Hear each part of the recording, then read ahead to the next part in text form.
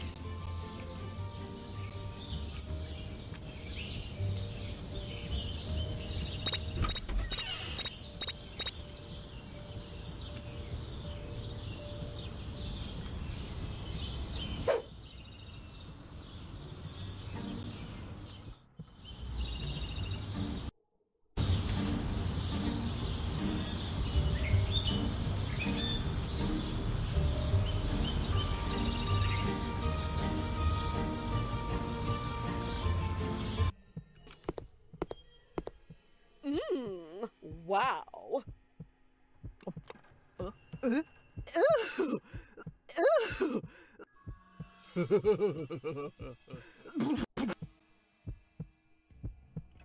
ah, ah, ah.